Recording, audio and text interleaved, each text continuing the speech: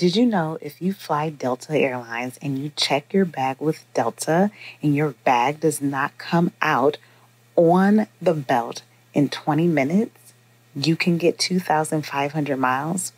You better start tracking that time because I know I have received me some miles throughout the year just by my bag not coming out within 20 minutes after arrival.